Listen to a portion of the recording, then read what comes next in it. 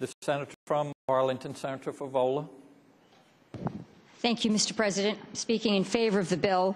Senator has the floor. Thank you. I just think there's one other point that we need to note. Virginia also already has laws on the books which prohibit state insurance coverage for elective abortions except in the cases of rape, incest, or fetal abnormality, or when the woman's life is in danger.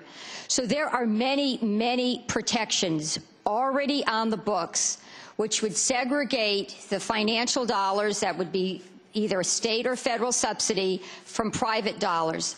And what this uh, what this provision would allow us to do is to actually go back and allow the private market to work and allow women the right to choose the kind of insurance they would like to have.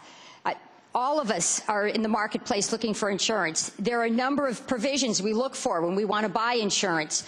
We should not, as a state, arbitrarily interfere in what those what the specific provisions of an insurance plan should look like because we're trying to force our own social agenda on all of the people in the Commonwealth. I ask that we support the bill. Thank you, Mr. President. Thank you, Senator.